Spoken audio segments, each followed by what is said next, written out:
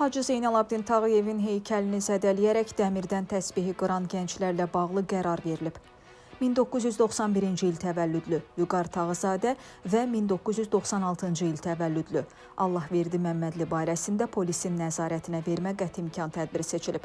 Onlar həbs edilməyərək sərbəst buraxılıblar. Qeyd edək ki, hər iki şəxs Cinayət Məcəlləsinin 221-ci xuliqanlıq və 246-cı tarix və mədəniyyət abidələrini qəsdən məhv etmə və ya korlama maddələri ilə ittiham edilir.